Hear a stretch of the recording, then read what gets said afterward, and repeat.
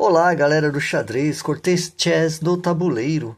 Recentemente eu fiz um vídeo que foi muito interessante mostrando que apenas 2% dos jogadores jogam na italiana este avanço aqui, ó. Por quê? É um lance muito raro e surpreende o jogador de brancas. E pode dar vitória para o jogador de pretas, como eu mostrei naquele vídeo, que eu vou deixar na descrição o link dele e no card, tá? Agora é o seguinte, para as brancas também tem uma ideia muito semelhante no Gambito Viena. Isso que eu quero mostrar para vocês neste vídeo.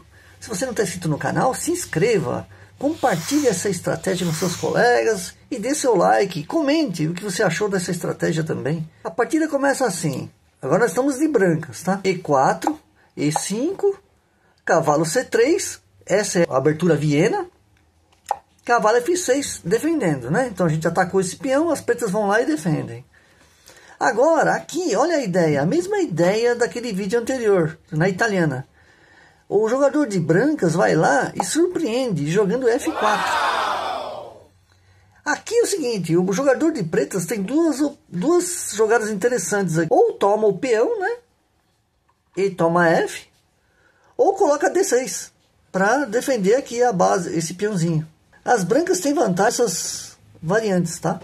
Por quê? Se tomar aqui, ó, que é a ideia da, do vídeo, se tomar aqui, a gente vai fazer aquela mesma ideia daquele vídeo anterior na italiana. Avançamos o peão aqui, cutucando o cavalo.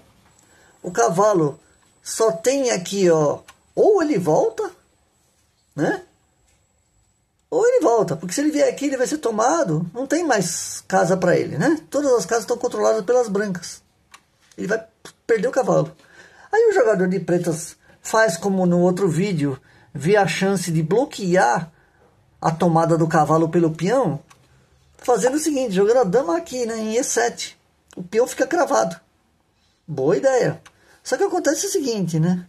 As brancas têm muita chance de vitória se jogarem dama E2. Que aí desbloqueia.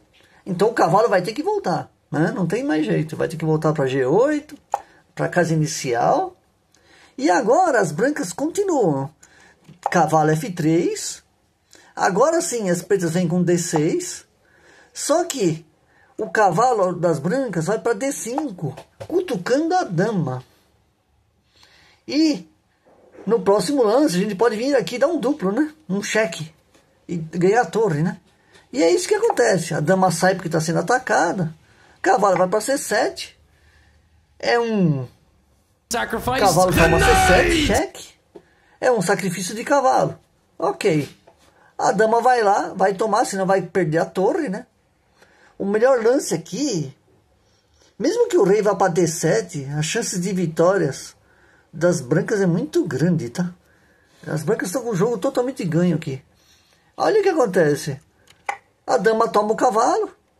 E agora o peão vai tomar o peão vai dar um cheque descoberto, né? A melhor jogada para as pretas é realmente colocar a dama aqui, né? Já que ela vai cair, né? Colocar aqui na frente. E o peãozinho vai lá e toma a dama. E depois do bispo retomando, nós temos aqui que as brancas estão com uma vantagem monstruosa aqui, seis pontos de vantagem, né? E realmente as brancas vão ganhar. Elas trocaram uma dama por um cavalo, né? As pretas têm todas as peças pequenas em jogo, mas perderam a dama, né? E realmente essa ideia é muito interessante, né? No, Viena Gambit, no Gambito Viena. O que vocês acharam dessa estratégia? Muito interessante para as brancas também, não é? Dê seu like, comente o que você achou e se inscreva no canal. E até o próximo vídeo. Valeu!